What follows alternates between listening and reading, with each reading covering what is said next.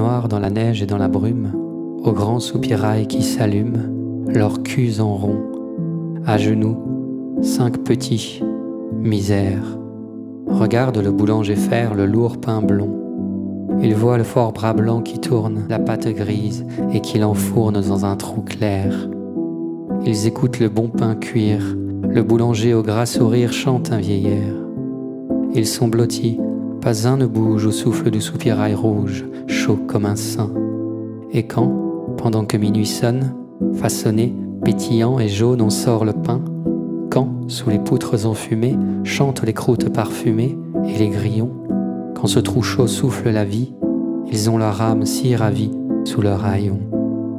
Ils se ressentent si bien vivre, les pauvres petits pleins de givre, qu'ils sont là, tous, collant leurs petits museaux roses au grillage, chantant des choses entre les trous.